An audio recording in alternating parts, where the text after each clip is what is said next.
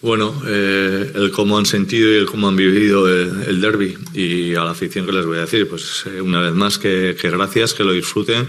Seguramente que como seguramente que muchos, como mis dos hijos, pues seguramente llegarán a las, a las tantas después de haber disfrutado muy bien de, la noche. Seguramente con alguno me cruzaré cuando yo me vaya hacia, hacia Zubieta, por lo menos a ver si me trae el desayuno y, que lo disfruten, que darles las gracias, que ha sido una gozada ver el estadio así eh, y sobre todo como han animado del minuto uno al, al 95, ¿no? Eh, es lo que pedía, es que no le podemos pedir eh, mucho más a esta afición, que siempre está con el equipo.